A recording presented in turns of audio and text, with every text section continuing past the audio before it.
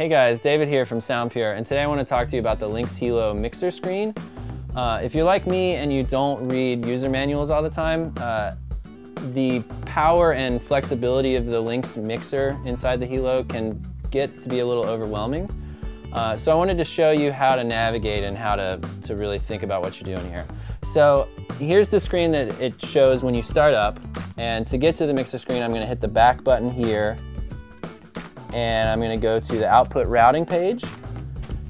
So here's where everything happens. This is where you choose what signals go to what outputs.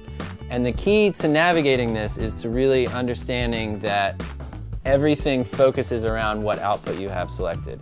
So right now we have the monitor output selected and this left part of the screen shows every possible signal you could send to that output and the ones that show up green are sending and when you select them you can adjust the volume here. Um, but this entire part of the screen will change when you select a different output. So basically you've got a series of different mixers inside of this thing and you can see one at a time.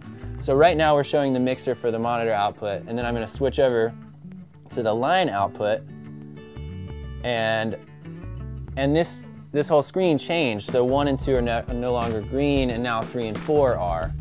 Well hopefully this cleared up a little bit of confusion about the Lynx Hilo mixer screen. Um, if you still have any other questions we're happy to help out with you.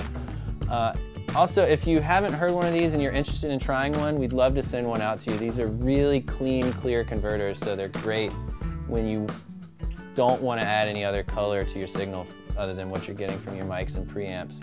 Uh, also, we have special financing available, so if you want one of these units faster, we are happy to work with you. Thanks. Take care.